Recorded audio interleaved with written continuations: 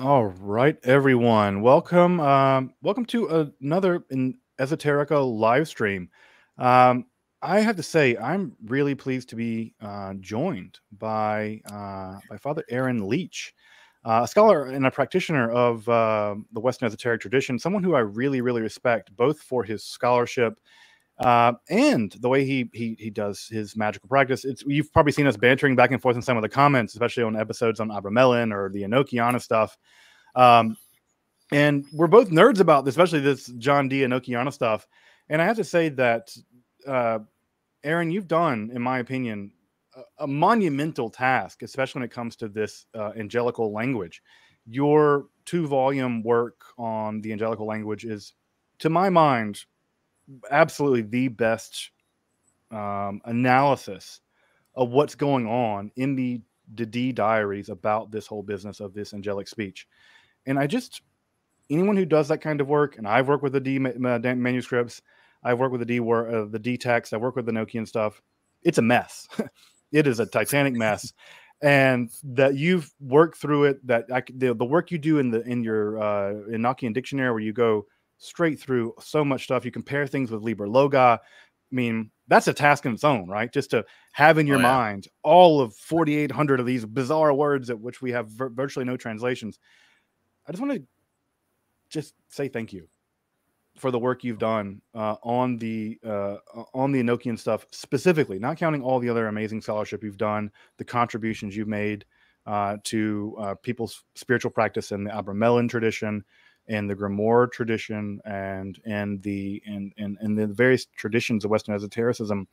And it's just a great opportunity for me as someone who's just a you know civilian, just an academic, um, to be able to sit across the table virtually from someone who's both a scholar and a practitioner and a teacher. And for us to be able to sit across from each other, meet where we can, disagree where we do, and respect each other and respect each other's work I think that's just fantastic. And I just want to really thank you for coming on the show and uh, just really thank you for the scholarship you've done. So uh, welcome, welcome, Aaron. Thank you.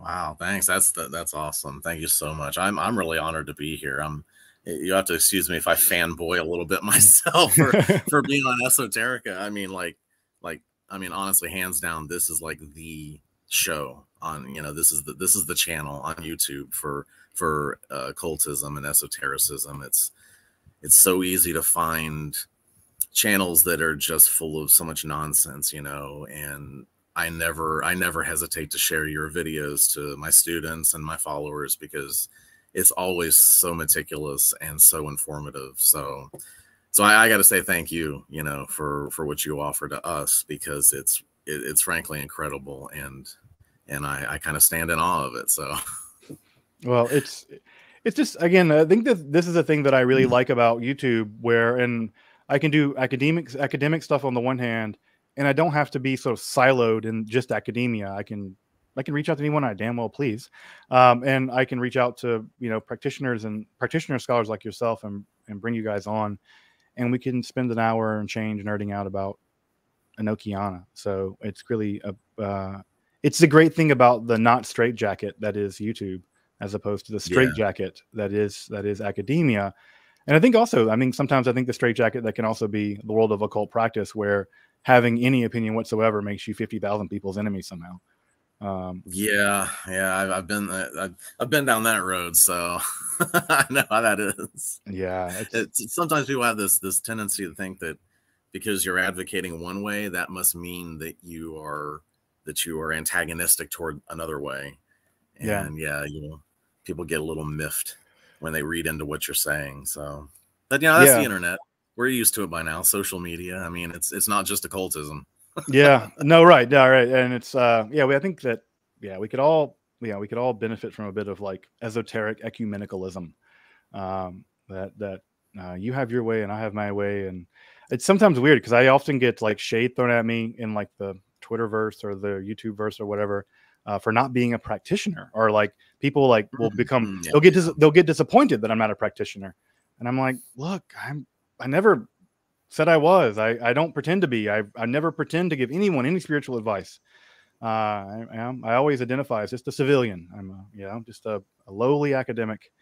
Um, and it's funny how people can, I don't know, I think people want well, there's a like there's a place for the academic though, you know, it's it's you know, and what I do, I'm not an academic, you know, mm-hmm. and and and I know and I understand. I hang around with enough academics to know what it means to be academically trained.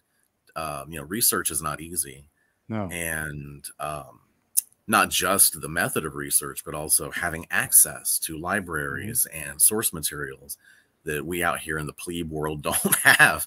So, you know, someone like me, not being an academic, I, I look at you guys. You you you're so important because you know you were writing the books like you know like Penn State Press mm-hmm. writes the Magic and History series, and oh my God, is it incredible? And it doesn't matter if they're practitioners; they are teaching us the history, and that's what you're doing. You're teaching us the history, right. and we we have to know that history. There's there's such a there's such a trend today for making it all up as you go along. As long as it suits you, it's fine. And there's like no desire to be connected to the history, to the the, the practitioners that came before you. Right. You know, like like we say in the Golden Dawn, to become the next link in the chain of adepts passing down through history, you know. And so you guys are so important because you we wouldn't know that history without the academia. I mean, if you leave occultists up to it, we're gonna ha- we're gonna talk about Atlantis and aliens. and, I mean, you know what I'm saying? It just goes off the rails. So the academic material has to ground us. We have to mm-hmm. be grounded there and then you apply the, the the practical experience with that material so right, right. yeah i i'm absolutely a, a, big fan of what you do even if you never pick it up and practice it you know well i hope that again i hope that there can be my my hope always is there's a helpful synergy between what i do what you do what other occultists do uh, what other academics that are on youtube do that we can build a community around you know, around again like i said a kind of esoteric ecumenicalism that we can it's far better for us to stand together especially in the wake of what will probably be another satanic panic which i think we're already in the midst of another satanic panic. We are. Um, we are. yeah i think i think we are as well. And i think that uh, having been the victim of something like that um, I, I want to be in a position where I stand with my occultist brothers and sisters and trans people and say, as an academic, I want nothing to do with uh, um, with with that, and I want to be part of you know standing with religious minorities being a religious, religious minority myself that uh, i want to be in y'all's boat and not the uh, the boat of the people who are the jackasses on the other side. So same here brother. Yeah. Same here um, all right folks. So what we're going to do if, it, if it's okay with folks i know that uh, you know there's so many people there's a lot of folks in the chat. There's some questions in the chat. I'm going to try to get to them. But what I want to do is um, I have a couple questions that I want to pitch out to Aaron that I will maybe answer a little bit myself. Um, because I think it's interesting to just to get some perspective from um, from an experienced practitioner like uh, like Father Leitch, and and you know I'll jump in with whatever ideas I have, and um, and we'll kind of go from there. We'll do a couple of these things, and then we'll come back in and get some questions from the chat.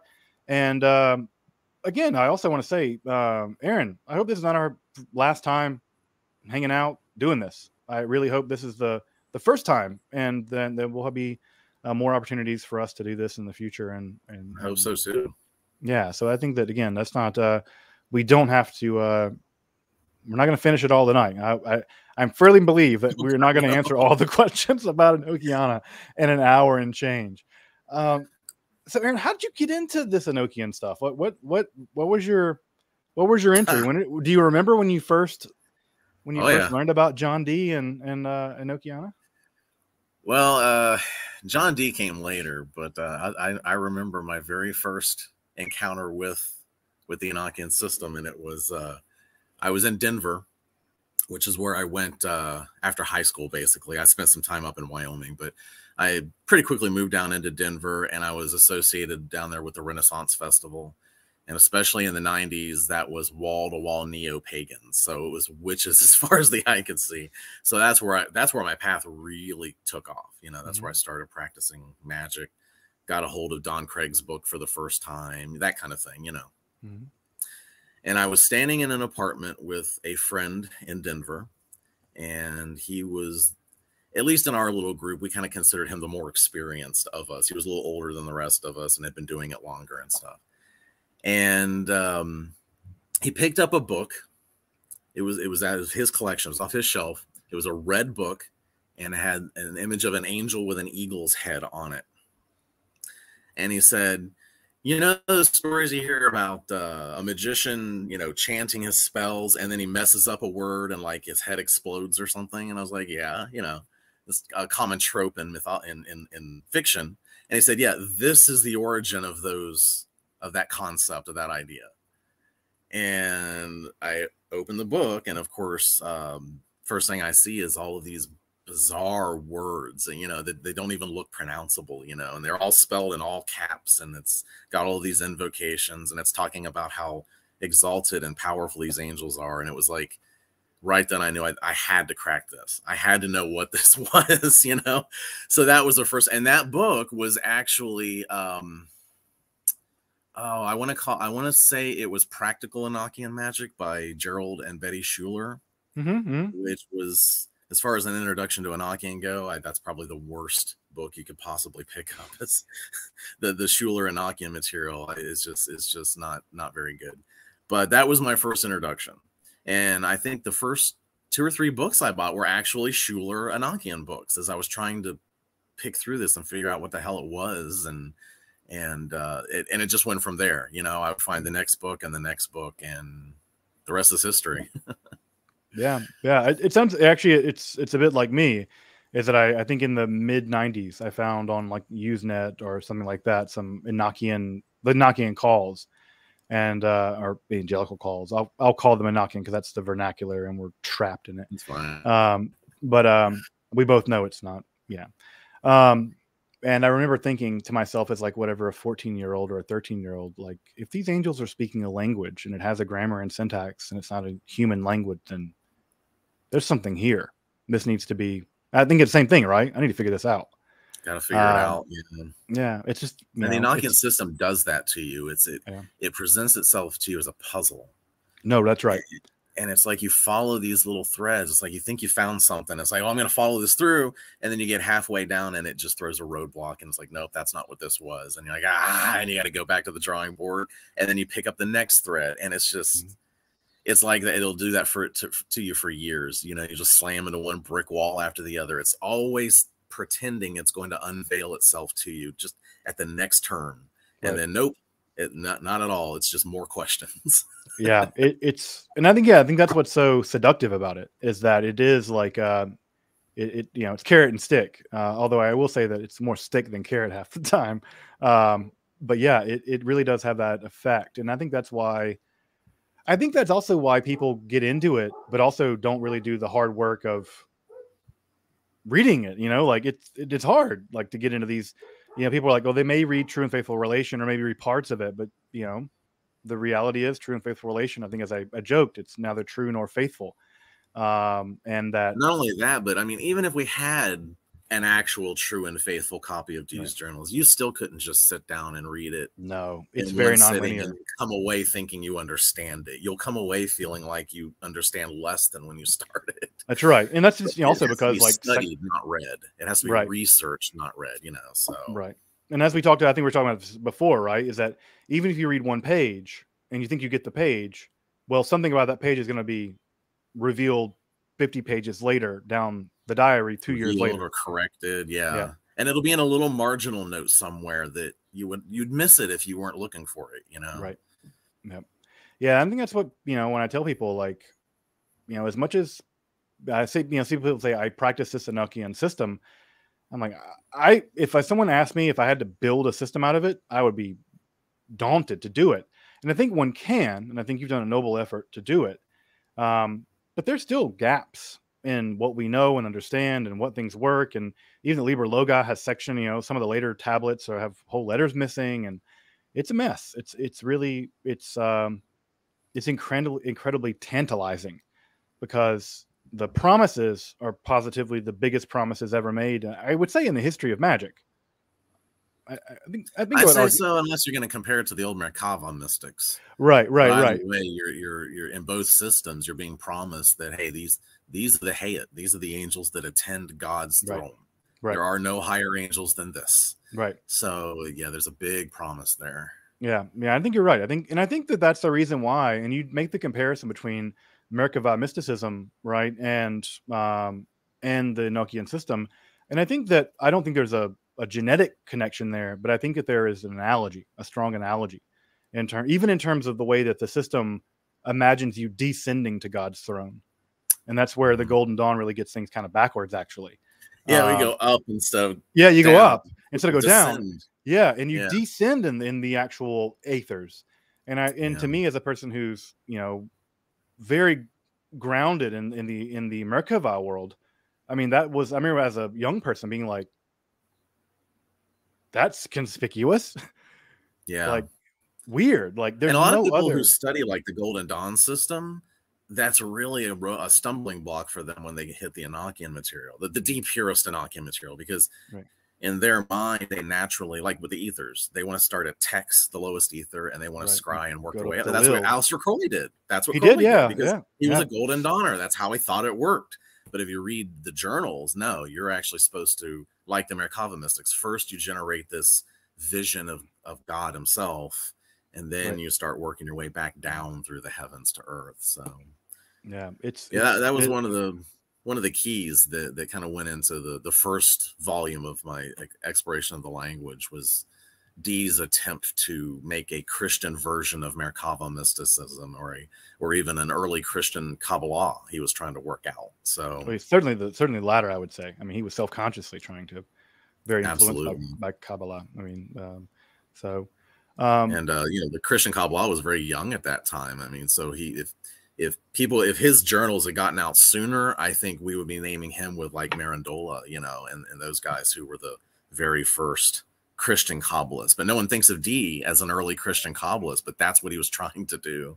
Yeah, well, I think that I think that his his I especially in in um, in the Monas Hieroglyphica in the introduction, he's very much about he's saying, look, I'm using Kabbalah and things like that. In fact, I'm making an episode with uh, the modern hermeticist Dan Attrell uh, next Friday on Yo- on uh, Reuchlin on uh, De Verbo Mirifico, the Wonder Working World uh, Word, the first text published by by uh, Reuchlin, and um, Sounds great. I'll be talking about how it affect how it actually influenced Dee. Um, and in fact, I think it was one of the main texts Dee had Oh, read wow. in terms of, uh, which still has no English translation. That that text has no English translation, unfortunately. Um, and why do you think this system is so popular, given that it is uh, that it is so complicated and such a such a mess? It, and even more than just the things that it promises, but aside from that, what do you what do you why do you think it why do you think Enochian has has uh, gone on to the kind of popularity it has? Well, I think it has a lot to do with um, uh, how it was popularized. You know, because like you said, aside from its promises, I mean, any any any magical system that's telling you that you're going to contact the highest of the high angels to literally influence world events, that's going to attract people. And you know, just like you and I, that language sucks you in too. That you see those words and you're wanting to know what's going on there, and that'll that'll just drag you right in. But like I said, it's it's also popularization. You know, like you can say that Batman is a superhero that is just for some weird reason always popular. Everyone's always going to love Batman. He'll always be here. But if you look at the history, it was actually the 60s. It was actually Adam West and the Batman show, his Batman show, that made Batman popular. And uh, Enochian's Adam West was Aleister Crowley. he made Enochian popular. You know, Mm. he published the Vision and the Voice, Right. and he he tried everything. He did everything he could to make himself the big bad evil magician. You know, in the world in, in his day. And so Enochian is what he was using. Enochian is what he was. That was what he considered the best and most powerful. So that's where. It, and and you probably know. Um, and and and those with us who are old enough to remember, there was a period. Um, I'd say before maybe the 90s, maybe the late 80s, but there was this period through the the 60s, the 70s, and even into the 80s where Thelema was pretty much it. I mean, the Golden Dawn hadn't exactly resurged yet. Uh, Chaos Magic hadn't even really come about yet. I mean, it was just kind of in the in the wings there, um, with you know Peter Carroll and those guys.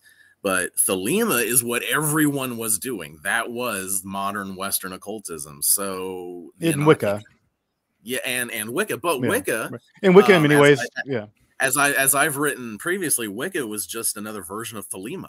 Mm-hmm. It was an earth-based version of Thelema. So Thelema influenced Wicca. Thelema influenced, uh, you know, the, the, fascination with Enochiana. Uh, Thelema influenced uh, the modern Golden Dawn. You know, Chick Cicero was a Thelemite when he founded the Golden Dawn. So, yeah, I really think that is what popularized it, mm. especially the vision and the voice. Mm-hmm. And so people keep returning to that and uh, so it's just it's stayed with us. And then you get you know a few people like me and, and others who have been keeping that torch kind of alive today. Uh, but the big movement now seems to be to go back to the Dee the, the Dee purist material right.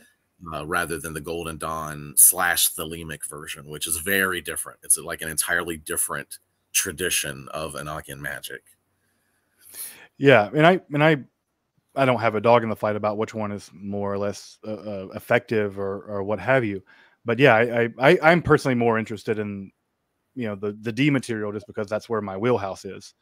Um, um, but again, I read the vision, the voice, and I'm impressed by whatever Crowley did. It produced something very impressive. Um, and it's not for me to judge whether it's authentic Enochian magic or whatever. I, I don't have a dog in that fight. them as different. They're just different traditions. I mean, they even use different versions of the Great Table, so it's just two separate paths. Right. Yeah, you know? and, it, and, both of them are fine. yeah, know? it's not it's certainly not for me to judge. Uh, and I find the vision of voice to be a, a, incredibly powerful prophetic, you know, piece of religious literature that. Mm-hmm. Um, you know, it's one of those things where this is one of the many places where I get to be very lucky that I don't have to pick I can be like, yeah, the Dee stuff is like amazing. And the people are like, so you're a Dee purist? I'm like, no, I'm a religious studies scholar. You just I, study religious. yeah. I, I, don't have to be, um, um, I don't have to be, uh, I don't have to be hammered down to, you know, some kind of or, you know, occult orthodoxy. Um, so yeah. that that's in many ways, that's really, that's fantastic. Um, what's, what do you think is a big misconception for you uh, that you hear a lot about the the Dee material, just the Dee material. Um, like what's a what's a misconception that you you hear a lot about when people learn to do a, a Enochian Enochian magic or they they've learned about the material? What are some so of the many of them? I mean, it's like oh, you take God. There's so many of them. We could we could do a whole show just on misconceptions. Yeah, alone. I would say one of the biggest is now we're going back to that who popularized Enochian magic, and I put a lot of that with Crowley, but Crowley did that because of the Golden Dawn, and because the Golden Dawn was so foundational to modern uh, Western occultism.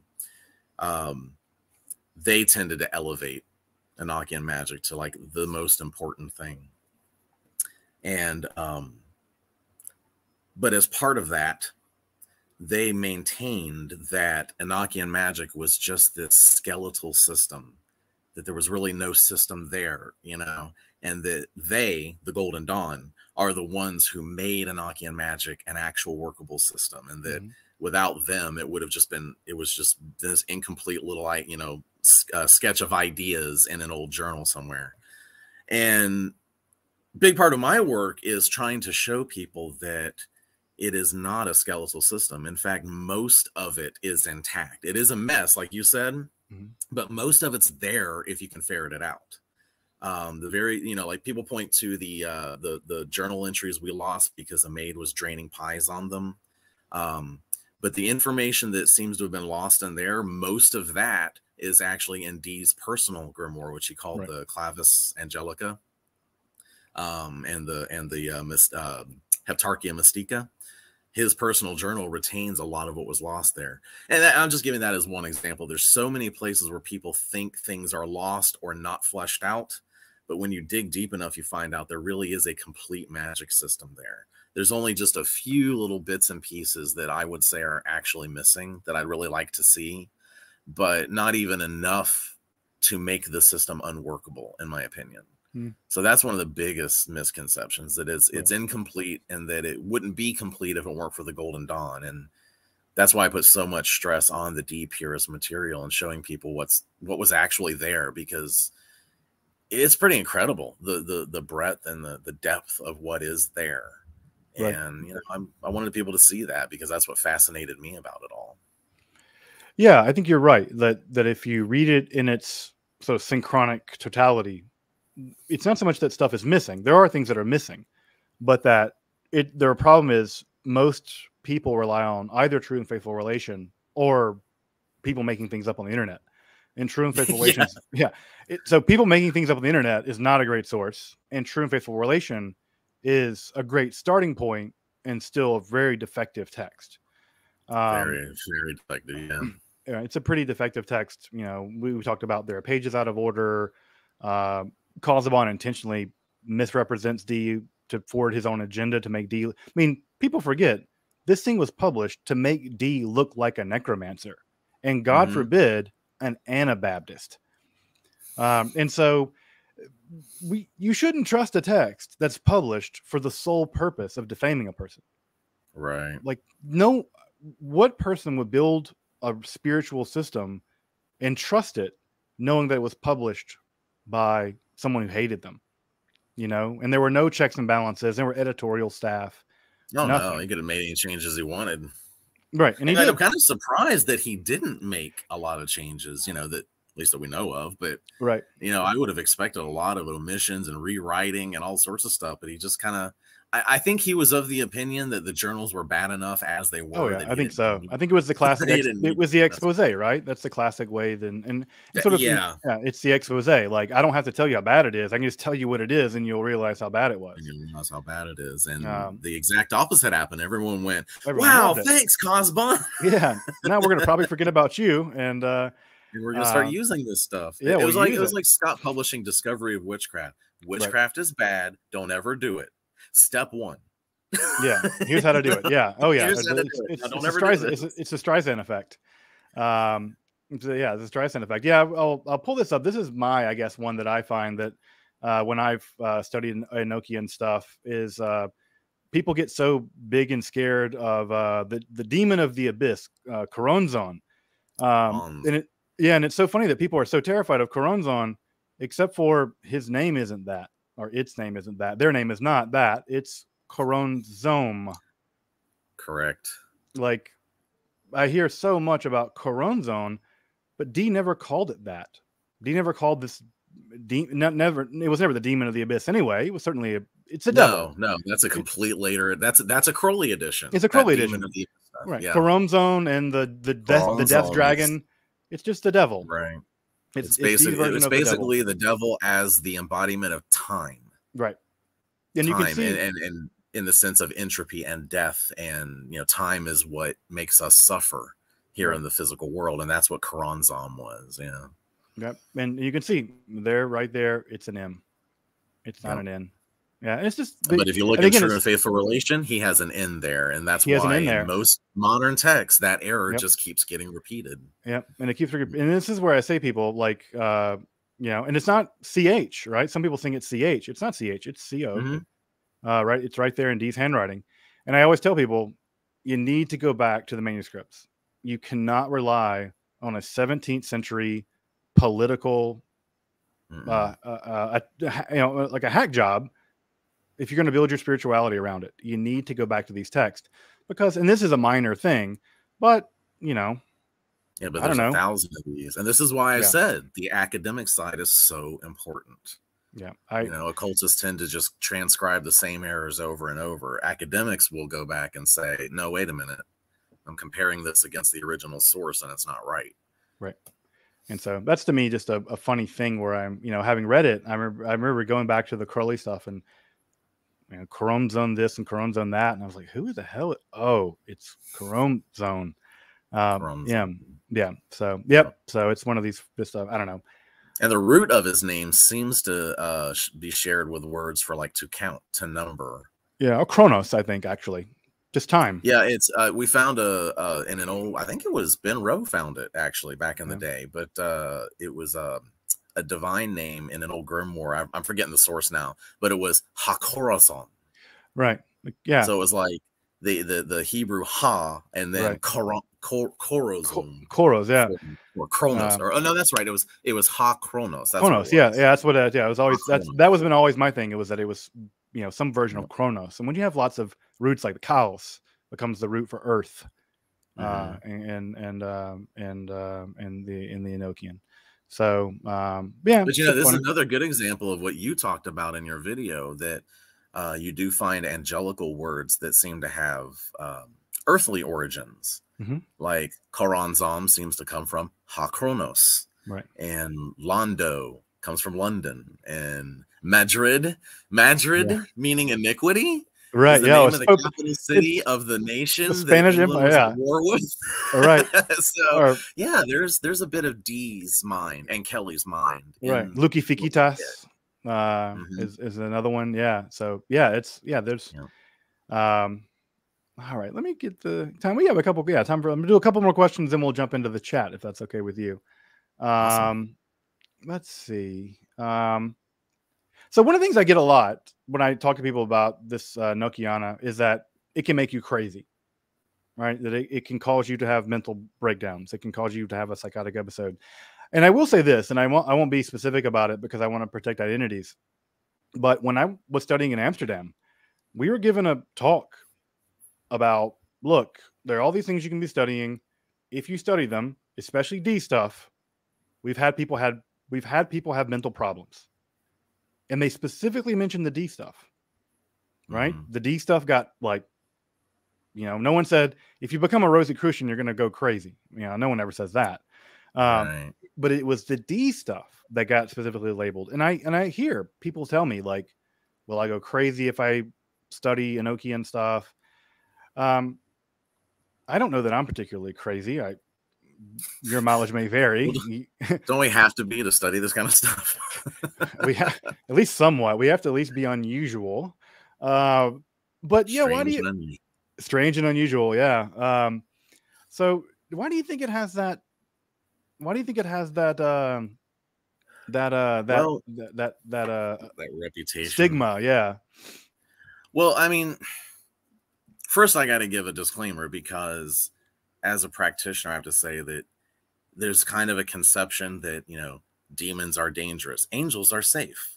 Yeah. And that is not true. And it's it's not true if you're working Enochian magic, which th- that happens to to deal with some of the most exalted angels in the universe, or if you're dealing with just the Solomonic system, or if you're working in the Kabbalah with golden, you know, like Hermetic Kabbalah and Golden Dawn type stuff, or even uh, traditional Hebrew Kabbalah if you're working with these angels, they can be dangerous. The angels can bite you and and and you can get burned pretty easily. So that's just something everyone should know going in. Mm-hmm. Um, you're not dealing with a safe art, and there are a lot of stumbling blocks and things that can go wrong.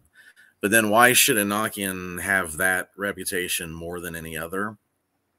Well, part of it is the misconceptions we were talking about, and I just focused on that one uh, but like I said, there's so many others. There's um, the Enochian angels are really aliens. The Enochian angels are really interdimensional beings uh, from some bizarre, you know, other other realm. Um, I've heard. Uh, oh, there was someone in the Golden Dawn. Uh, this is this is generations ago, not not the modern order. But she, uh, uh, uh her name was Bailey, and she decided that everything to do with Enochian magic was evil, that they were all demons, you know, and mm. and you'll get people that will pick up um, on like what she had to say and even what Kelley had to say. Because remember the the the incidents in the grim in uh, the grimoires in the journals where Kelley would flip out and say, oh, "These oh, aren't Kelley. angels, these are demons." You oh, know, right. Kelley constantly flipping out. Yeah, yeah, and people will pick that out and they'll focus on that. So there's this there's your misconception is that there's this kind of reputation that is not really earned that it is dangerous and that the entities are evil. So a lot of that stuff just gets passed on without any real practical backing for it. It's just they heard that it was dangerous, so they tell you it's dangerous, and then you tell the next person. Um, so there's that. Um, but beyond those two, um, I think one of the main things that makes the Enochian system dangerous is we've kind of talked about it already. People tend not to go back to the journals. They tend to just look at true and faithful relation, or they tend to just look at maybe what Regardie wrote in the Golden Dawn, uh, or Pat Zalewski. He published uh, Enochian Magic of the Golden Dawn. I've I had that book in my early days too. Um, they will look at uh, oh God forbid what the Schuelers wrote about it and if you take all of that material and try to put it into practice, you're not understanding it and you're going to end up really ma- making bad mistakes. And I, I think a lot of people get burned that way because they're trying to use the system they don't understand and they're misapplying it in very subtle ways. Mm. Um, a great example. Uh, I know many magicians. They they want to write uh, an Enochian invocation or or maybe names on on their tools or a talisman, and they'll just take English words and just transliterate them into angelical. And that's not how it works. It, it's a separate language, and there's a way that you have to actually translate English text into angelical. So I think people are just don't use any adjectives. not you know not many uh yeah. not many articles you know right. uh the word i and and uh articles conjunctions they do exist in the language but they're rarely used you right. know it's so if if, if if this language is the language of the angels and it is a sacred tongue and it is a thing of power then i think that misapplying it and just randomly writing letters because you've translated you know you want a Kawasaki, so you just write out Kawasaki in angelical letters, you know, and it's just and it doesn't work. And I think that's it's it's misapplying the system, not just the mm. le- letters, but the rituals and who and who and what you think the angels are. You know, if you call these guys and you think they're aliens, then you're not you're not in the right mind place to talk to these angels. You know, mm. so it's just such a misunderstood and misapplied system that I am not surprised that there are so many horror stories of people just not getting the results out of it that they thought they were supposed to. Right. Yeah, I I would say also that I mean I don't know what the nature of angels is, but I I would say that that Dee certainly thought and traditionally thought that angels are terrifying. Like no one until now, the 20th century basically thought that angels were like your friend. Angels right. were like these military. They were like the Marines of the skies. They're the Marines of heaven, and they weren't there to help you. The they were, yeah, they're hosts. They were, yeah. yeah. literally the the Tsevaot. It literally it, the the word actually means army. Like mm-hmm. I don't know why we translated it as, host. It's completely a bad translation now. The word in yeah. Hebrew just means army. Yeah. Um, and so you know, and so that the Tzfaot, uh, the idea that these are you know basically the marines of the upper regions of the heavens. Um i mean do you want to go like pester a navy seal? Pester those guys? Yeah i mean like, it, this is one thing that I, I run into this when i'm i'm teaching people um is that if, if you look in the old midrashim and even in the even in the, the the old testament itself i mean when humans encounter these or when when humans and angels have encounters with each other it's not usually pleasant, and the angels typically do not like humans. Oh yeah, Lotire. You know, don't they don't they don't like to be pestered by us. They don't like God's apparent favor of us. They don't. I mean, they just we really irritate them. Right. And you know, fortunately in our in our mystical systems we tend to focus on the ones that kind of tend to get along with us michael gabriel raphael. They tend to be nice to us more often than not. But you know even those guys and most other angels yeah they would they could just trod right over you and not even realize you were there you know? Right no and epochal powers right you know? in the midrashim actually the angels actually argue with god that we shouldn't be created at all yeah, they didn't um, want us here at all. They said we're going to create war. We're going to pollute the earth. We're yeah, gonna... and yeah. guess what we did? Yeah, right. And, and and I tell my students this all the time. It's like you know, this is all about the relationship. Magic is all about the relationship you build with these entities. Because if a hundred monkeys contact them, it's for stupid stuff and it's for things that irritate them. And if you can make yourself the one that stands up above the crowd and actually earns their respect, that's where the magic comes in. That's where they'll start working for and with you, where they'll start teaching you, you know. But if you're just another another idiot trying to masturbate over a sigil so you can get laid, then they're just not interested in you. You know, if you're just at the most they're going to toy with you. you know. No, right, and so, you get yeah. the sense that, and, and, it's funny because that's uh, uh, you say that because that's people forget that that's a good bit of what the Angels did to Dee and Kelley. They just strung them along. Like yep. they were like, "Oh, you want to have fairy? You want to? Yo, you're interested in buried treasure? Okay. How long I'll, did they string them along over that buried treasure? Oh yeah, I'll give you a buried. I'll give you a treasure.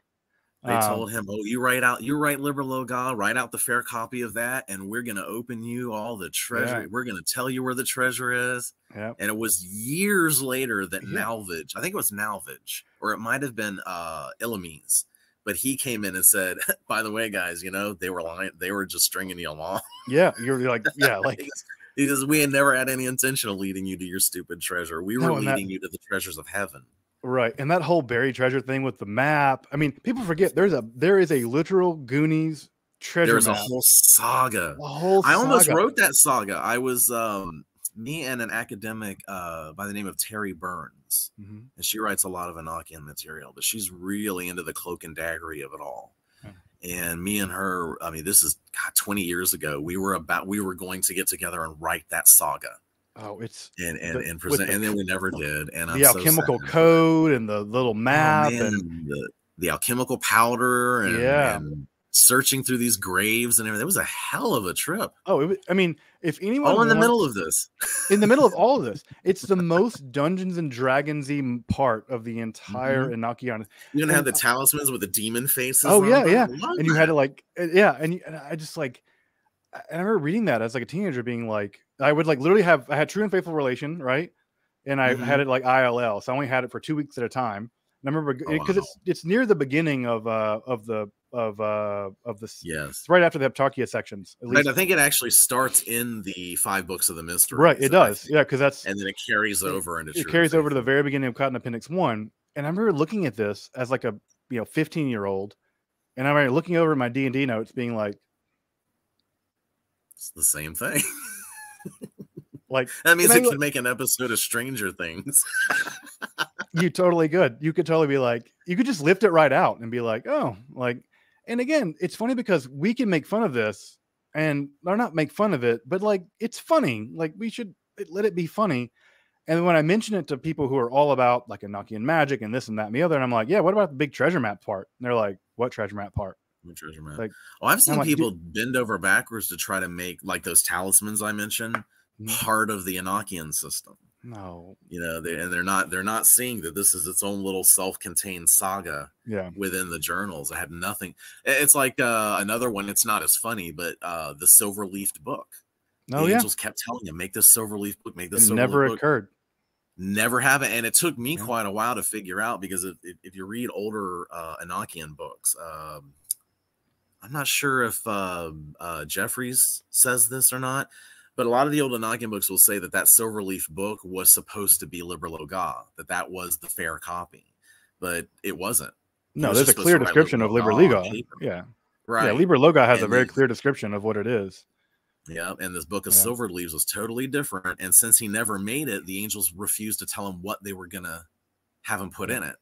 So it just dies right there. But yeah, there's all these little sagas, whether they go anywhere or just peter out. There's all these little stories in the journals that are just fascinating. Yeah, I totally agree. And that's why, again, for me as like an academic, that's like that's what I love. I don't, I don't have a dog in the fight of whether I'm going to like get a vision of God if I do this. For me, mm. it hmm. just stands as a authentic mystery. It and really is. That's enough.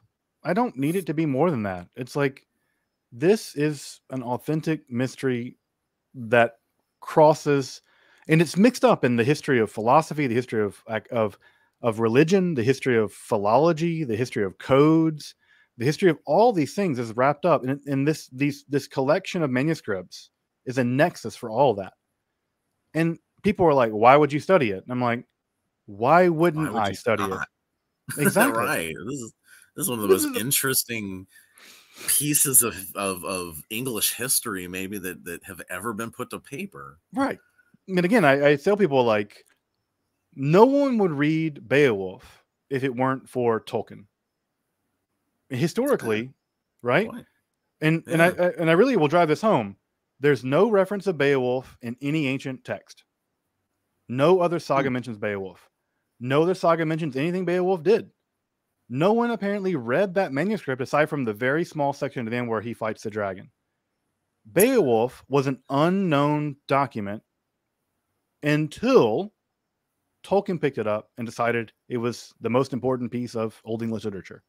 And now everybody who speaks English has had a class on Beowulf in high school. I was about to say I we studied in high school when I was in high school back in Yeah. the nineties. Yep. It's it's it's a survival bias. It survived. One guy who wrote something really famous decided it was really famous and became famous.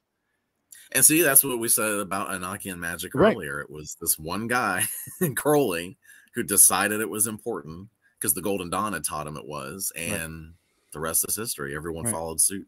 Right. So it's just funny like what becomes important, what doesn't, and what becomes important for what reasons. Like the Mona Lisa, no one cared about until sh that painting got stolen, until JFK showed up and decided it was important. No it one cared about the Mona Lisa.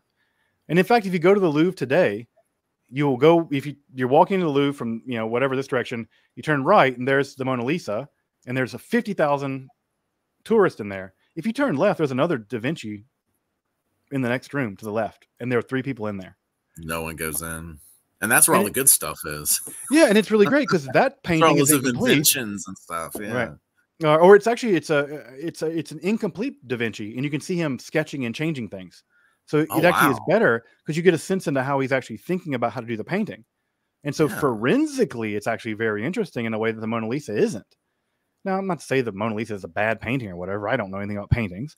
I'm just saying it's the Mona Lisa is the Kardashian of paintings. She's I was gonna famous yeah, because for being famous. It's fa- yeah, people the people who are crowded over there aren't even really interested in it. They just want to be able to say they went to see it. See the Mona Lisa. Uh, It's again, it's a Saw Kardashian of paintings. Yep. It's a famous. It was famous for being famous. So, um, let me do one more. We'll do one more question and, and, and take to the to the crowd. But yeah, it's, um, yeah, I think that the Enochian stuff is funny because of the way that, um, it's gotten publicized. Um, and and and maybe I'll say this. Like I think Voltaire said, the Bible is more celebrated than known. More people celebrate the Bible than read the damn thing. I think that the John Uh, Dee yeah. texts, right? The John Dee texts are more celebrated than known. People talk a big game about it, Absolutely. Enochiana, but do they really go back into Cotton Appendix number one, Sloane 3189, Sl- Sloane 3192, Cotton Appendix number two, and get into these texts? My general idea is that most people don't because it's not because people are bad scholars or whatever. It's just a pain in the ass. It's just, that's for sure. yeah. That's for sure. um, it's like I, I get I get irritated with people like um Abramelin. Uh, I would say if you meet a hundred people who say they've studied Abramelin, 99 of them have actually just read Mathers' introduction to his edition of the book, and that's Right. about it. You know, and why not just read further? But with Enochian magic, it's not going to help you to just read further. you know, it's it is a whole lifetime of study Right. and it's just it's it's amazing i mean i would i i wouldn't have it any other way but it is not it's a monolith you have to chisel away at and hopefully my books will make that easier i really do i hope that i've taken this this whole big thing that just seems so overwhelming you know i was the the nerdy guy that had no social life so i just sat there with my copy of true and faithful relation and i read it page by page you know? And i had the time to do that.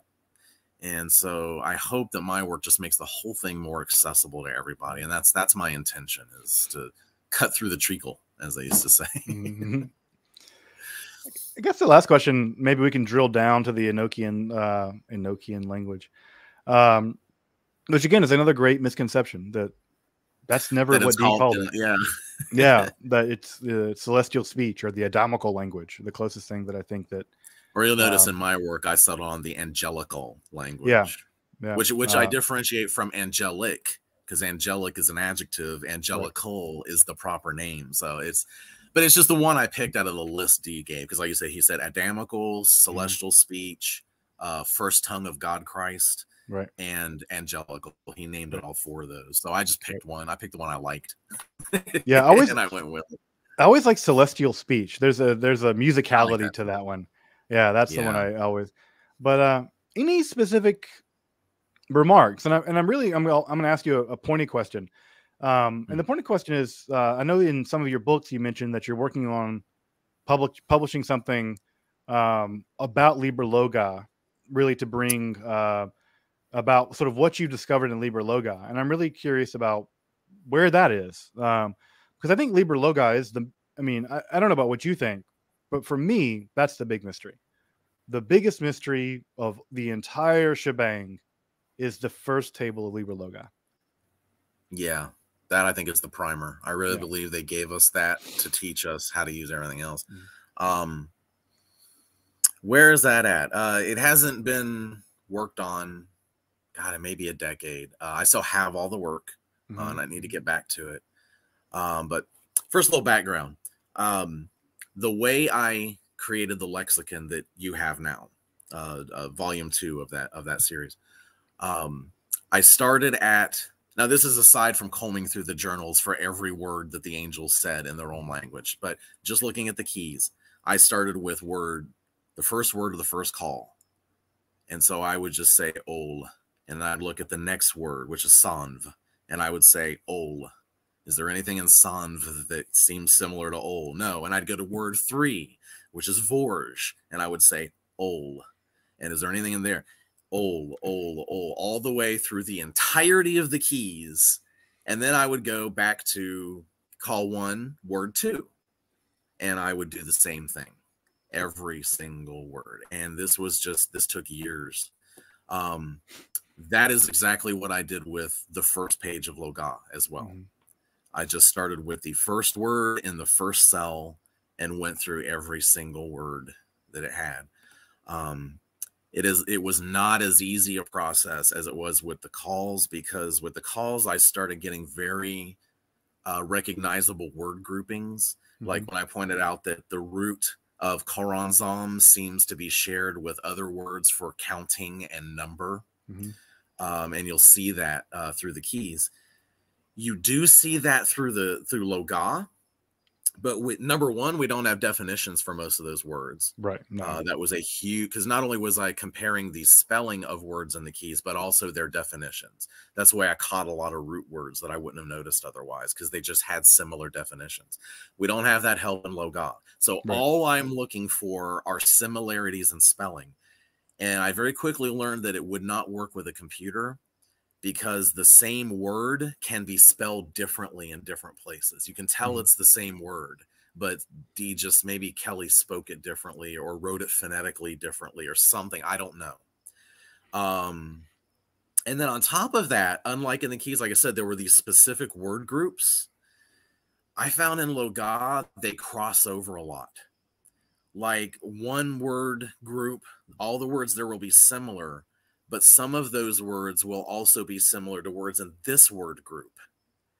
And they those that group will have words that are similar to this group. So i was never able to even narrow it down to specific groupings of spellings and conjugations and stuff. So it's really this it's kind of like diving into a sea of letters really you know? And right. So where it is right now is I do have a lot of those word groupings separated out, and I've tried to cross note, uh, cross note where these words seem similar to these words, and these words seem similar to these words, Right.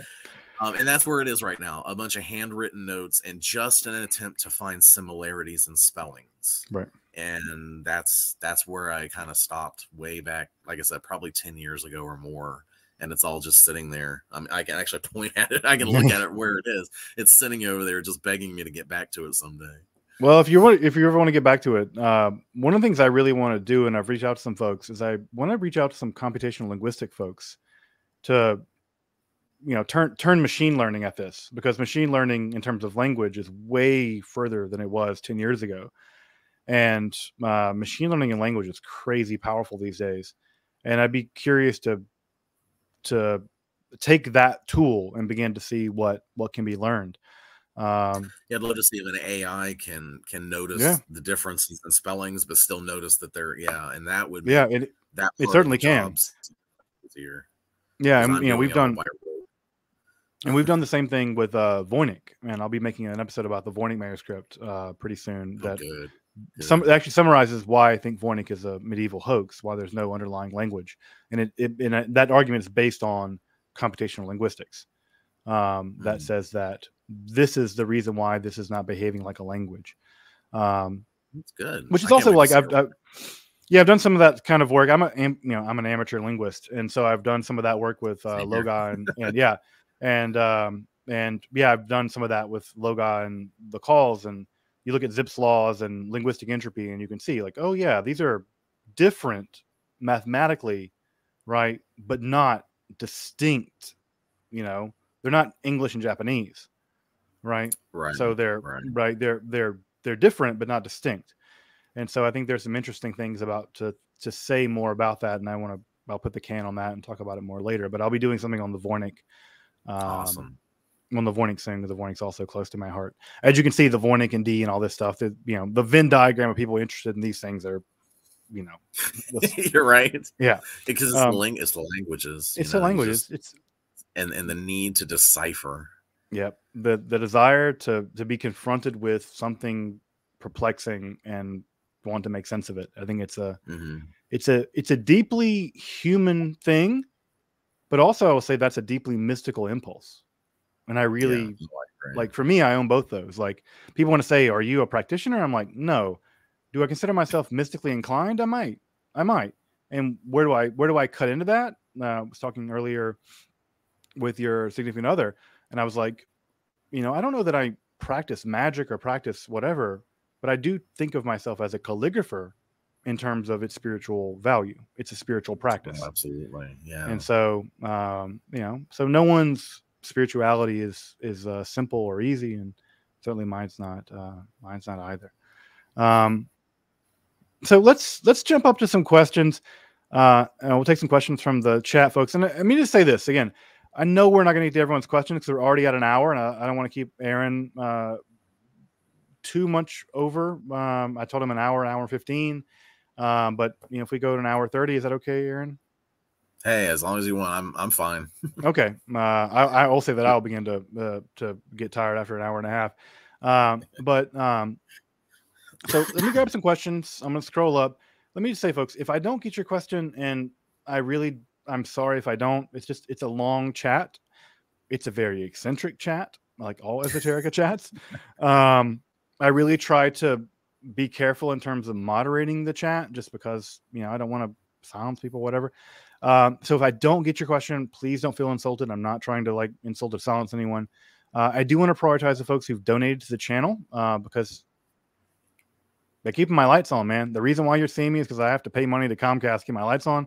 So I want to prioritize their stuff just because I don't want to be a, you know, I, hey, you would do the same. So um, let's jump up and say, um, let me jump up and see. Um, start from the first and go up. So this is Gia B. Um, so she says, This is engaging. Solitary tu- a student looking for a mentor so I don't make dumb magical mistakes. Any recommendations? Um, Aaron, do you have any recommendations for either mentors or just general tips for for not making magical mistakes? This is not my wheelhouse. So yeah, um, all you, brother. I do see I do see where she's coming from, but I wouldn't really recommend anybody as a mentor. Basically, if somebody presents themselves to you as a mentor, run away because that's if you find a, a, really good magical teacher, you should have to chase them down and put a gun to their head to get them to teach you. If they want to teach you, it's it's scary. Um, but you know, um, that said, I'm not going to tell you about how I'd like to teach you. But no, seriously, uh, I do offer classes. Um, so you're more than welcome uh, to the classes that we offer. We can uh, we can talk about where to find those later. Uh, books that I write are uh, intended to be introductory, uh, like uh, Secrets of the Magical Grimoires and the Essential Enochian Grimoire. Uh, those are good places to start. And also, if you go, uh, if you're on Facebook, I uh, I host a um, Solomonic group, and it's like a very very strictly moderated group. It's not for general magical discussion. It's for uh, it, it's it's almost more academic, except it's academic from the standpoint of a bunch of practitioners. So we're talking about how we actually use the material. Um, so in general, you know, your best bet is things like that. You, you got to find good groups. Don't find groups full of kids who are just making it up as they go along. Uh, you want to find the scholars. You want to find the the authors who publish about this stuff, who've been doing it for a long time, and you know, just kind of become part of the community. I mean, it's easier today than it ever was in the past to just find the you know a good group of people and just start contributing and just and asking questions and taking part in the discussion but as for you know telling you a mentor to seek out i really couldn't recommend just any one specific person not even myself you know i'm not going to step forward and go hey you know i'm i'm your mentor you know you got to find out what it is that you want to do and then find out how to connect into that community. And once you do that, the teachers will start appearing. Mm-hmm. Yeah, and I would just say that you know that uh, general rules around teachers, no matter what they are, is you can ask questions, um, you can question authority, you can you know you can you can ask for sources, you can ask for reasonable argumentation. Um, you know, anyone who rules from sheer authority alone, stay away from them. Um, oh, and also, yeah. and also, just you can always leave and do something else. So, um, absolutely, yeah. but in general, group it's not for you, you just go to another one. I mean, it's yeah. you know, when I say a group, I mean literally like online. Finding an actual physical group is a whole different ball of wax because you you want to make sure you don't get involved with a predatory group of people or uh, uh, or some or or a fraudulent group of people, you know, or making claims that aren't true or but I figure that's that's a different show. That's probably not what she was asking for here. Yeah. Yeah, I would just say that, you know, when when you have to check your critical thinking at the door, run. Oh, absolutely. Absolutely. That would be my so, the Boreal Beaver. Thank you for the super chat. Uh great minds, great minds unite. I trying, brother. Um let me scroll back up and get a couple other the super chats and stuff. Um, Max Kano, thank you, brother. Um, the Satanic Church uses this language with some modifications. What do you think about LaVey's work? Imagine you imagine uh, Aaron and I are gonna have a different uh, opinion about this, but Aaron, shoot, yeah, you. I, I just I, I'm not impressed. Um, because I know what you're referring to. It's in the it's in the back of the Satanic Bible, and all, all LaVey did was he took the the calls as they are presented in uh, Golden Dawn and Thelemic work.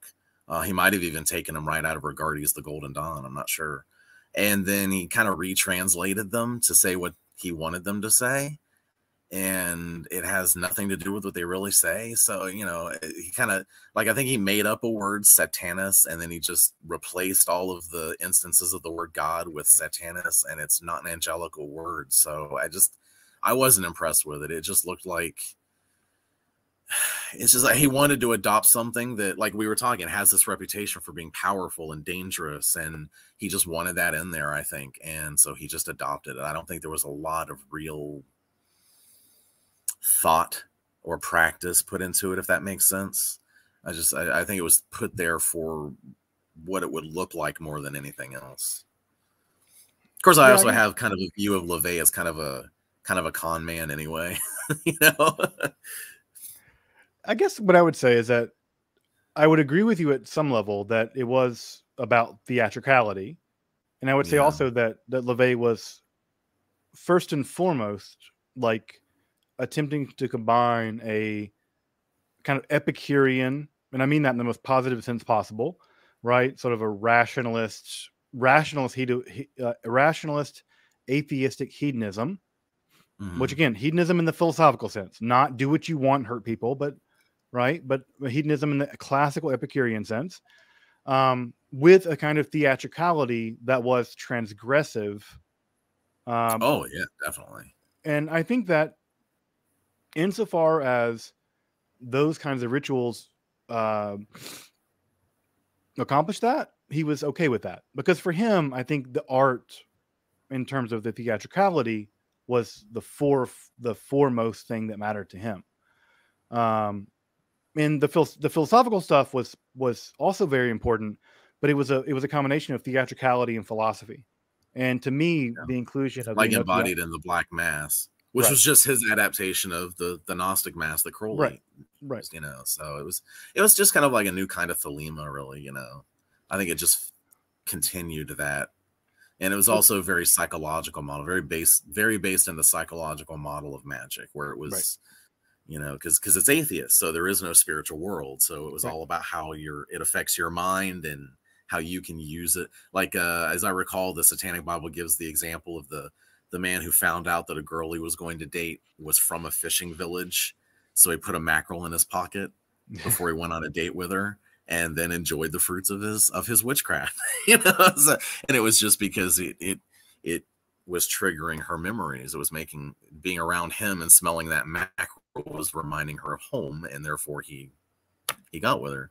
So yeah, it was a very psychological, philosophical, and yeah, it was about pageantry a lot, especially with the mass and all that. Mm-hmm. So yeah, that, that seemed to be what he was focused on. Right. And and again, to be clear, I'm not saying that theatrics is bad. Most of religion no, is, is, is, is, theatrical. uh, yeah. I'm all about the theatrics of religion. Trust me, I love hardcore. Going back to the Greek, uh, the Greek play, the Greek, oh. uh, what they call those, the Passion plays. I think it was. Well, or or before, yeah, I think the or for me, like just all of the the, the, the you know the for me, I love the Torah procession and stuff like that. It's pageantry. It's theatrics. Right. I'm all about it because that's psychologically and aesthetically important to us.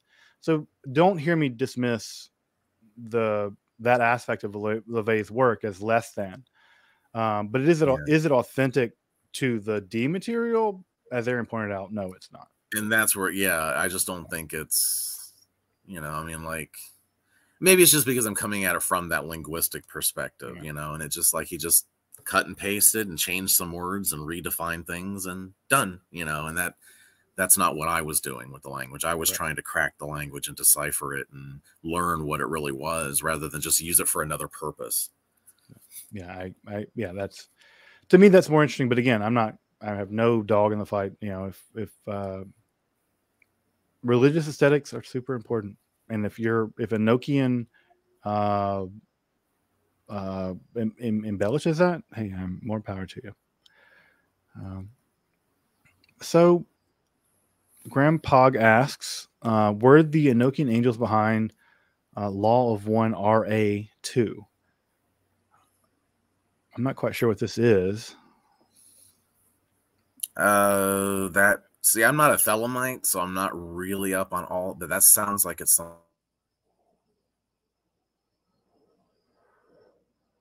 Lost Aaron for a second.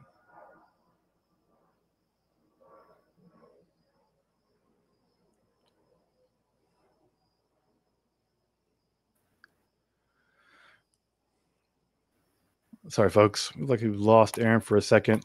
Uh, oh, there he is. Welcome back. Sorry, we lost you there for a second, brother. There we go. Yeah, we both. I think we both crashed out there for a second. I'm not sure. that was weird. But uh, so where were we? What what happened? What were we saying? Was, before it, we cut off? I'll, I'll blame Choronzon. Um, uh, yes. Yeah. Uh, when in doubt, blame Coron- uh, uh, so the grandpa asked, were the Enochian angels behind Law of One RA two? I don't know what this is, so it's it's a little out of my wheelhouse. Yeah, I I know Crowley did a lot of you know because he was you know, like the vision of the voice. He was trying to work up through the ethers and he was trying to interact with these Enochian entities. Now, from my Dee purist standpoint, I think he did a lot of stuff wrong, like going the wrong way up through the ethers. And um, the Golden Dawn also misapplied how the calls are supposed to be used, you know. So I've already talked about that, mis, mis misusing the system. Um, but I do know that whether misused or not, he was using Enochian magic. Um, I even think Aiwass was an angel that he met going up through the ethers and stuff. So there's a lot of. Enochian inclusion in what he was doing. So I do think uh, you know you you could make an argument that a lot of the Thelemic philosophy came from Enochian angels, if if you want to look at it that way. but it, I think it was very specifically Enochian angels, but speaking to Crowley. I mean, just like just like you can look at Dee's journals and see like with the Londo versus Madrid thing, right. you can see where Dee is in there. I mean, these entities are speaking through a human being, so that some of that human being is going to be in there, and right. I think it's it's even it's that to a thousand percent with Crowley. I mean, he was contacting these entities, and he was just getting all of this kind of you know, uh, it's all it's very Golden Dawnish. I mean, what Crowley knew of magic, he learned from the Golden Dawn. So mm-hmm. it's all very Golden Dawn style. Thelema is very, you know, lodge magic uh, style of magic. And so I, just, I think it was all about the filters that he was running. And so all the right. messages messages are coming through those filters.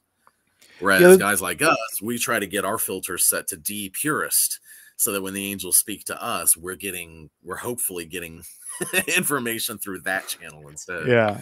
I mean, when I, you know, when I, the, the, you know, when I, I have two gears, right? I have my sympathy gear and my academic gear right? And if I turn my uh, sympathy gear, uh, if I turn my academic gear all the way up, then I'm really dismissive. If I turn my my sympathy gear all the way up, right? It's like Din and Din and Gevurah, or you know, you know Chesed and Gevurah. Um, when I when I when I when I when I turn my uh, Chesed uh, meter all the way up, I always remember that verse from uh, the Quran where it says, "I have given you an Arabic Quran." When Allah says to Muhammad, "I've given you an Arabic Quran," that always struck me as fascinating because it means that that the Quran we got was a very specific Quran. It was an Arabic Quran for an Arab guy in his setting. But right. the Quran might be something very different, but he gave him an Arabic Quran. And right. what is interesting to me is that, you know, again, if these angels are real or whatever, I don't know. But it could be that Dee got what he got because he was a 16th century English dude. Exactly. They had to give him what he could understand. Right. And that's why they were I mean, if you read the journals, uh yeah, we love to focus on all all the neat magic and ciphers and stuff. But what the angels did most for the most part in the journals was stand there and give sermons. Yeah. Oh, yeah. The world's about and, to end and, and, judge this guy and in righteousness and how Jesus yeah. was really the truth. And it was all stuff that Dee needed to hear from them, or he never would have accepted them as angels. So right. they'll, they'll always come through to us the way we expect them to. Right. Because there's always going to be some of us in that that matrix between us and them. It's never just us or them. You're you're opening yourself up to an intelligence. And then it's it's I, I say it's like telepathy, but they didn't have that word back then. But Agrippa talked about it. You know, they impress messages upon your mind immediately, meaning right. without medium. They don't have to vibrate air. They don't have to write it down. They just put it right into your head like an inspiration. But that means the message you get is not going to be the same by the time your monkey brain translates it into words that you can understand. So we're always going to affect the messages that we get. Mm-hmm. So Dee, Crowley, me, it doesn't matter. We're always going to, there's always going to be a little of us in there. Mm-hmm. John Ivan, John's a, a dear, uh, dear friend and a, and a Patreon supporter. So John, appreciate your, your super chat and your question. Um, he asked, "What you what can you say about the current use of the Dee work in the Golden Dawn systems, and where might they be going in the next couple of years?" Definitely a question for you, Aaron. Yeah, um, it's no secret I'm not the hugest fan of Golden Dawn Enochiana, um, but it's not in the sense of having any issue with the system. Like I said before, it's just a different path, and I'm more interested in the Dee stuff. Um, now, being in the Golden Dawn, working my way up through the inner order grades, I have to take tests on the orders system. So I do know that system and I understand the differences. Um, it's a good question about where it's going because I don't, it's not like there's a big direction that Enochian magic is going in the order. Uh, the, the way it tends to work is you work your way up through the outer order, and that's if you really apply yourself, you can get through that in like two, two and a half years. And it's like taking an associate's degree. And once you've got this associate's degree, you go into the inner order. And what the adepts and the inner order tend to do is they split up. So this adept is really into astrology. So he goes and he writes astrology books like Bob Zoller. And this guy is really into Abramelin. So he goes and he writes Abramelin, you know, about Abramelin or the grimoires or Enochian. So it's like adepts tend to specialize. So if you're asking me where the order stands right now, I'm pretty much the Enochian guy in the in the modern Hermetic order, the Cicero's Hermetic order of the Golden Dawn. So if you're going to base it on me, I'm bringing a lot of the Dee purist stuff in. And like I said, I do understand that the Golden Dawn stuff is different in its own thing, but I'm also bringing in like for example, if if I'm in the temple doing a ritual, I you will never hear me use what we call Golden Dawn liturgical Enochian. I always pronounce the language the way Dee would have pronounced it. So like whereas the order would say O L Sonu Veo Ar Sorji Gohu Ayade Balelta, I would say Ol Son Forge Gohu Yadabat. So I I am. I think I'm having an effect on the order by bringing in a lot of this Dee purist stuff, but I'm not changing anything. You know, I don't. I'm not trying to replace the reform table of Raphael, which is what the order uses, with the original Great Table, which is what the Dee purist system uses. You know, I'm, I'm keeping them separate. So you know, I don't. I don't think there's any massive direction that the order is trying to take right now for Enochian magic. They've kind of got their own directions they're trying to go, which has a lot more to do with making sure the order is large enough and stable enough to survive for the next several generations. Um, and I guess uh, beyond that, I don't have much to say about the order system. Uh, like I said, I'm not the greatest fan of it. I could pick it apart here and there on some things that I dislike about it. Um, but yeah, I just I just see it as its own thing. And when I have to take tests on it, I study it and I pass those tests. And but then I just go on back to doing my own thing, which is mm-hmm. more Dee purist. So that's where that kind of stands. Aaron, what do you think is the the the what do you think is the the final oomph of the Enochian system? Like, what do you get? What what what what is if you do the whole thing? If you really bring the whole thing home, what's the what's the promise of it? Hmm. See, that's kind of a good question because, as you pointed out in your in, in your recent video, the the the true purpose of the system was international espionage and geopolitics. you know, so I mean, strictly speaking, if you're going to go through the trouble of you know putting these tools together and and doing it right and making contact with these angels, that is the system you're studying. You are studying a system that'll let you influence you know massive events in the world in as far as the angels will allow you to influence those events. Um, but then there's the whole aspect, of, like I revealed in the first volume of my work, is that Dee was very much trying to create a Christian Kabbalah. Uh, the angelical language was his attempt to create the sacred language of the West.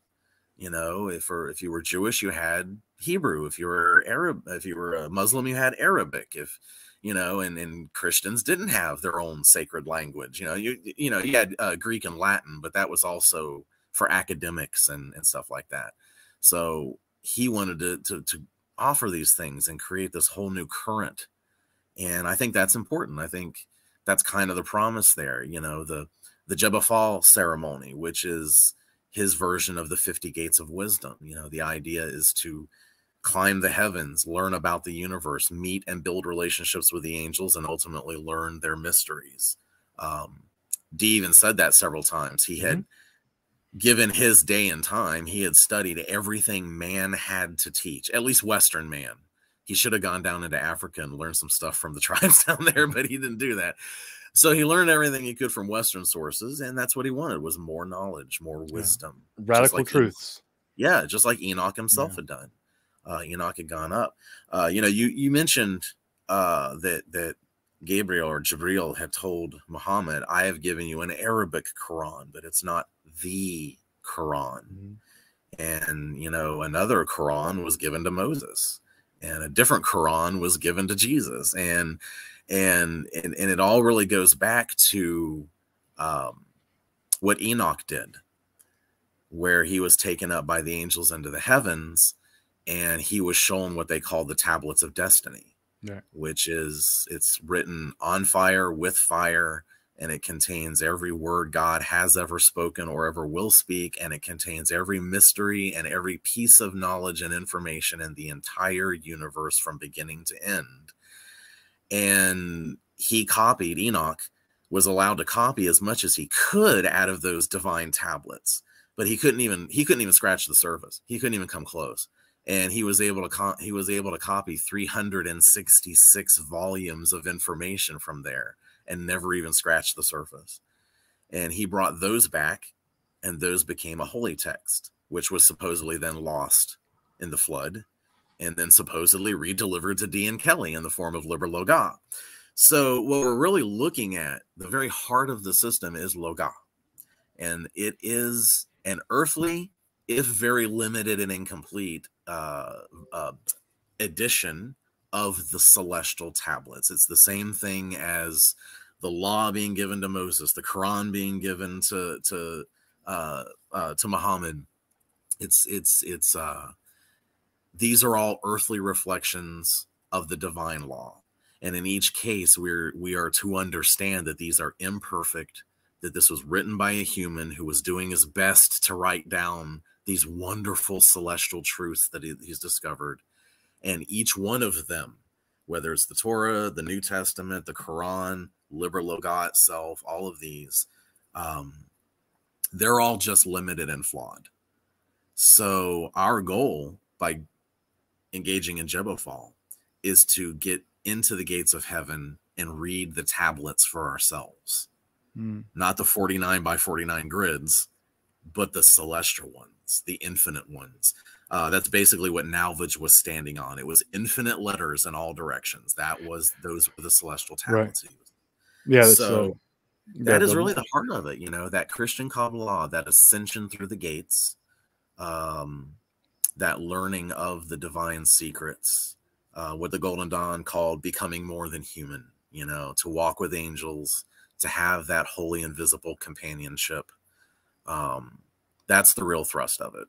Mm. You know, kind of like I said before, standing above the thousand other monkeys that are pestering them for drugs and sex and rock and roll, and you actually impress them and they want to teach you. And that's that's what we shoot for. That's what we're really shooting for. It's knowledge. Yeah, yeah. Liber Loagaeth, knowledge right? Is, yep, knowledge but, is power. And once you have the knowledge, you know, just like just like uh, King Solomon, what's your one wish? Wisdom. Right. Because everything else, if I want to be rich, wisdom will get me there. If I want women, wisdom will get them. If I want, no matter what else you want in the world, wisdom is what you have to start with. And that's why we go up through the 50 gates of wisdom. Right. Liber Loga. Loga means.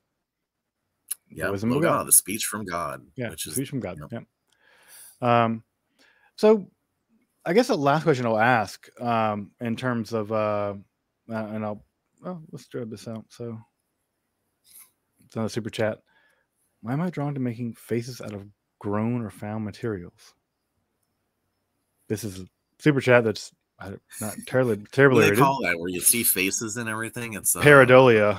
Pareidolia, yes. Yeah. I think that's an important part of our ability to do magic. Yeah. We um, it's not just seeing faces, it's actually recognizing any, personality personality and intelligence in what would what science would consider inanimate things. Right. So yeah, I think that's a big part of how we humans operate and how we interface with the universe, yeah. our environment. Aaron, where do you want to see where would you like to see academic study of Enochiana go? Where would you if if you had a team of academics, academics, just academics. I can always I, I can just speak for myself. If you had a team of, you know, five or ten people, um, linguists, philosophers, theologians, blah, blah blah, where would you want to see them go in terms of, in terms of forwarding the practice of the spirituality uh, of Enochiana? Hmm. Where, where, because um, academics love to judge practitioners, which I think is garbage. Right. Um, I think I, I, I really hate that, and I apologize when academics do that stuff. Um, and also, I'll say this publicly, Aaron, other occultists, if you see esoterica, again, I'm ribbing things. Trust me, I rib my own religion. Like, but if you see if you see me cross the line, let me know and I mean that. And I think I said that to you privately. Um, but at the same time, I think it's important because as an academic, I rely on what you guys do. I rely on practitioners. And so I'm really interested to think about how we can, how academics and occultists can serve each other's respective communities. And so what I want to hmm. ask is where do you think academics can plug into um, forwarding Enochiana? Hmm. Well, when you're you're specifically asking about academics, so I think this just goes back to what we already spoke about, where why I think the academic side is so important to the practical side. You know, um, for us to be able to put into good practice uh, this tradition and this system. Or a, a, great example is the the grimoires. Uh, mm-hmm. we know things about the grimoires and, and the tradition, the the the the, the pan European Western occult tradition that was going on at the time. We know so much more about that now than we did just 20 years ago. Mm-hmm, mm-hmm. And we know infinitely more about it now than we did when Mathers and Crowley and Waite were writing about those grimoires. Yeah, it that that blows people need to understand this. There are 150 manuscripts of the Key of Solomon alone. Alone. Not to mention the thousands of other grimoires yeah. and and cunning books and stuff yeah. from that era that are out there. And like if you uh, only you use a manuscript that wasn't even in English yet, and that's oh, another yeah. big problem. Things that aren't haven't even been translated yet. Yeah. Uh, like I again, I tell people like if you think that the one manuscript you have that you got on like Barnes and Noble is the only one, trust me, mm-mm. that is not the case. That's There's even a, a, later one. That's Lansdowne. Yeah. Was it twelve oh eight or five? Yeah. It's one of the later ones, and it's it's not all that great. And of course, Mathers made a lot of changes to it because he mm-hmm. thought he knew better. Um. So yeah, there's there's that, and that's. I'm repeating myself, but that's what's so important. We, without the academic side of it, we wouldn't know what we know today to practice the way we do. And, and, and from a, from a practical side, I'll tell you how this works. The spirits are very forgiving. Okay. So I can spend years doing this one thing, whatever it is, ABC, in my practice. And my my the angels I'm working with seem fine with it. But then we learned that I was wrong. We learned that that's not the way it was actually done. This was a misinterpretation. This was something that needs, you know. And then if I continue doing it the wrong way, then the spirits start getting miffed with me. They start pestering me about it because now I know what's wrong and they want me to do it right. And and if, if, if it's a figure on a talisman and I'm like, well, you know, I'm not to remake that talisman. It's fine. Every time I pick up that talisman, they'll nag at me. That symbol's wrong. That symbol's wrong. That symbol's wrong until I remake the talisman. And this this has happened to me a thousand times in my practice. So we depend so much on the academic side because we're correcting things. We're we're we are resurrecting an otherwise dead tradition here. You know, we are mm-hmm. resurrecting it, reconstructing it, and we can't do that without the academics. So that it's so important. Um, I don't know how much more academically we have to go on the Enochian system. I do want to see historians continue to investigate Dee's life. There's a lot of stuff in there that surprised even me, like when I found out he was working with the Catholics for a mm-hmm. while, helping to prosecute Protestants. But then Queen Elizabeth gets back in power and she just accepts him with open arms, nary a word about him working for the bad guys. I mean, there's so much cloak and daggery. Like you're saying, I mean, you you you say that the buried treasure thing was like a D&D quest the the entirety of the journals is like a James Bond flick, you know. Yeah, it's and it's just there's and there's so much history there, and I want to see the academics continue to unlock that hmm. history because mm. every time they do, we learn something else that makes something in the journals make more sense. Right. You know, if you've never heard of the family of love, then the wife swapping incident makes no sense. Right.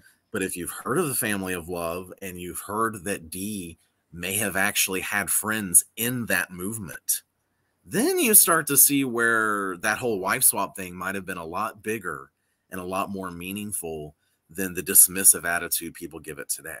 Well, they couldn't have been angels, you know. Angels, they only talk about war and killing and all that stuff. I mean, angels would never suggest that humans, you know, love each other. That's no, that's that's a bridge too far. So yeah, it's the academic side is important. And then I will say one last thing. There is one thing I want you academics to do, and that is finally crack and decipher Loagaeth. Yeah.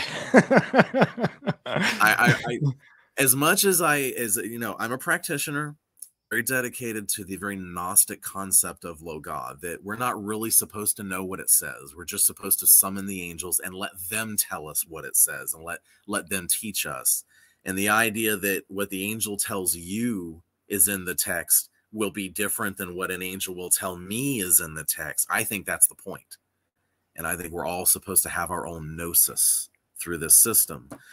But I can't get Trithemius out of my head and how a very famous angelic grimoire turned out to be a bunch of military secrets. And if anybody was using an angelic journal to hide a bunch of military secrets, it was probably Dee. So I would really finally, I would really love to have us finally crack the cipher on how the keys work, how the titles of the pages of Loagaeth work, and how that weird call zero. Yeah, call zero. Because I think all of those together are supposed to decipher Loagaeth, and it's going to take quantum computers to probably figure out how the hell that all was supposed to work. And I hope I live to see it because that's going to be fascinating when we find out what was really in there. In there, I yeah. I mean, yeah, we need the uh, uh, yeah.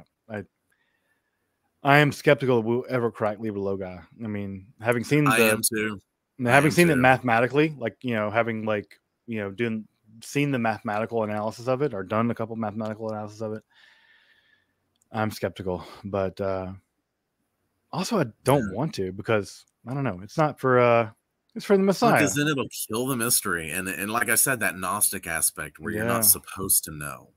And I think I really honestly, I as much as I'm willing to, if it's ever cracked and we find out it was military secrets, I'm not the kind of practitioner that's gonna naysay that and say that's BS. I accept new information as it comes in. Yeah. But I folks, I I think and I hope that it never will be deciphered. Yeah, I don't know that it will. But you know, we cracked Soyga. Like we now know what Soyga was. That's like, right. We, Thanks we, to Jim Reeds. Yeah, Jim Reeds. We cracked Soyga. We uh Trithemius, his big cipher got cracked. It got cracked. Uh, I can't name the guy who did that one, but um, and just recently the 340 cipher by the Zodiac Killer was cracked. Um, did they which, finally crack that? They cracked it. Yeah, the okay. 340 cipher was cracked. Um, okay. I if you if you love cryptography, uh, Aaron, if you love cryptography, go look up the uh, uh, the FBI has verified that the solution is right. Um, yeah, we, cra- we cracked the 340. So when I say we, like smart people, like people who want to care about these things. So, right. God willing, you know, always, always um, looking, man. Never stop looking and trying no, to decipher. No, I agree. Um, and also, I really appreciate the fact that you said that if you if the if Liber Loagaeth is cracked, and it turns out to be military secrets, you'll you'll you'll accept that.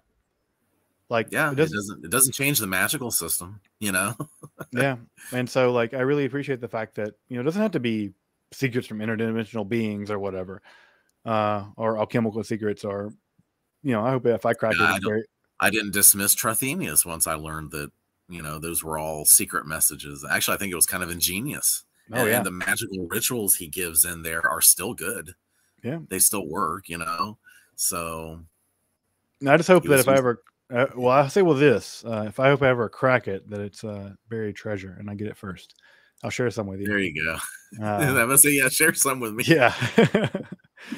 um all right, folks. Uh, there's a lot of you in the chat and, and watching around. We have 380 people watching. Um, wow so it's it's a, a good crowd. So I just want to say um, two things uh, or three things. First thing, Aaron, thank you, thank you for coming on. Thank you for chatting with me. Um, again, this is just such a great opportunity to to to be a case where an academic and a practitioner scholar, and I, I again I keep saying practitioner scholar because Aaron, you're not just a practitioner; you're a practitioner scholar you have done heavy lifting on the scholarship side.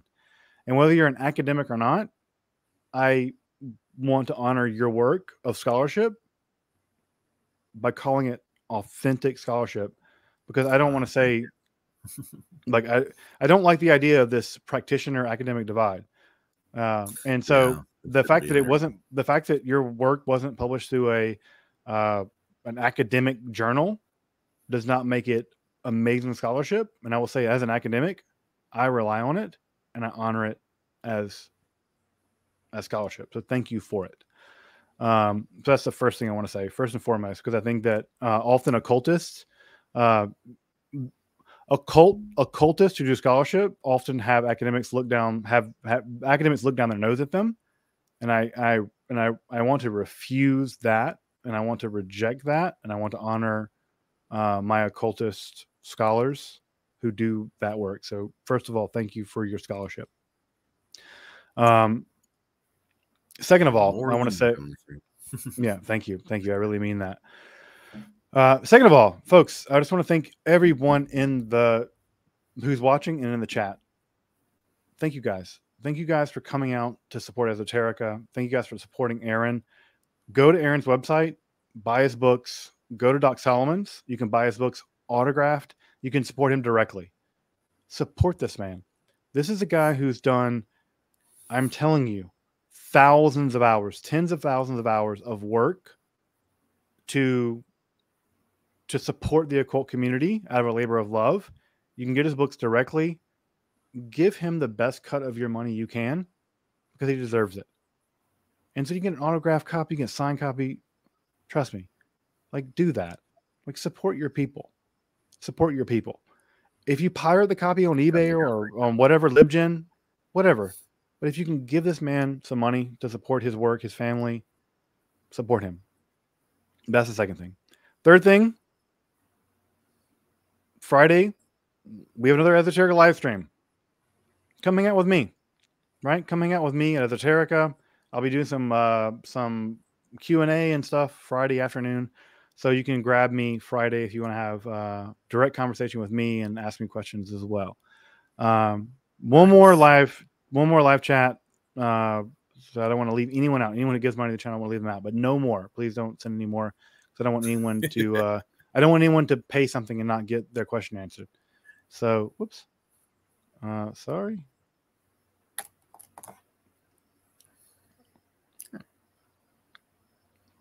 So, can talisman creation be a result of extraterrestrial interaction or an outlet to recreate a moment? It feels like a form of channeling. Why?